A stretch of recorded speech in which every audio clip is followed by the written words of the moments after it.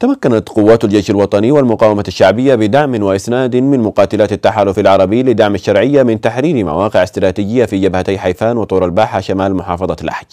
وذكرت مصادر ميدانية أن قوات الجيش الوطني والمقاومة الشعبية تمكنت من تحرير جبل الحلقوم الاستراتيجي في جبهة حيفان وجبال الكرب وسبيت والركيزة في جبهة طور الباحة مشيرا إلى أن هذا التقدم تزامن مع سلسلة غارات شنتها مقاتلات التحالف العربي على مواقع الميليشيات الإنقلابية التي تتعرض لضربات موجعة أربكت صفوفها. وأشار المصدر إلى أن المواجهات والغارات أسفرت عن مقتل العشرات من العناصر الإنقلابية فيما لاذ آخرون بالفرار عقب تقدم قوات الجيش الوطني والمقاومة الشعبية.